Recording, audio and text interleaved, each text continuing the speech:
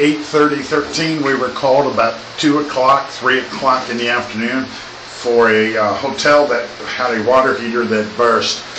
Uh, With the help of Southern Supply and Rick, who went way over the top uh, with exceptional service and um, customer experience. And we were locating a water heater in the Lochinvar. A sales rep told us they had one in Tampa, and we made arrangements to go to Tampa to pick one up last night. And on our way to Tampa, we got a phone call saying they did not have it. So we located a water heater, and it was in Pompano, which is by Miami.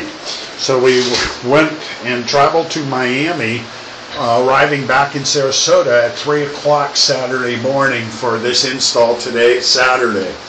Eric, Amram, JJ, and Tim uh, did this beautiful job. You can see by the solder joints, we had to relocate water lines, relocate the gas line, uh, we had to relocate uh, the uh, relief line and also condensate line.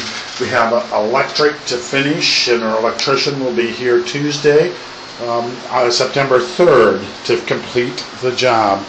A, a very nice job by these guys. They did a wonderful job.